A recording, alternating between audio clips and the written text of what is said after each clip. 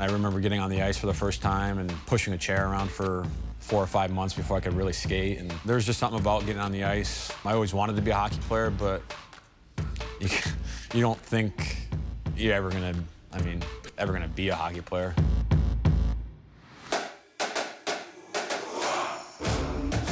Coming to LA as like an 18 year old was different for me. Like I had never been west of Michigan in my life. Coming out here, LA, you think of Hollywood and the movies and what that entails. And I remember landing and seeing like palm trees and wasn't sure really what I was getting into. It's been a warm welcome from the day I got here. I played my thousandth game right before Christmas. It's something that a lot of players don't have an opportunity to do. Probably the thing I'm most proud of those was all done with one team. It's something that doesn't happen very often in pro sports. It was kind of a unique situation for me to play a thousand games with the Kings and I was the second player to do that, and the first player was a person who drafted me, and that was Dave Taylor. So it was kind of a cool moment for me my family, and ultimately was possible by a lot of the, my teammates that I played with through the last 15 years.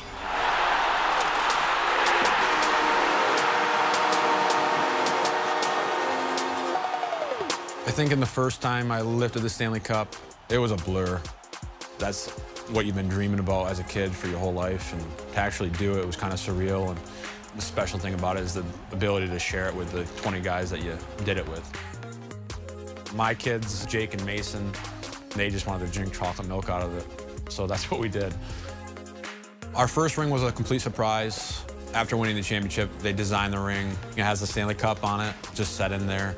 And then when we won our second Stanley Cup, we designed it. The cool part about it is the, the inscription on the inside is we had a hashtag FTF, which was for the fellas, which was our little saying we had that year. And I'm not even sure the origin story of it. Somebody did something and somebody else just kind of piped up and was like, oh, that's for the fellas. And it became our motto. And I think it really helped us when things get tough. Everything's for the fellas.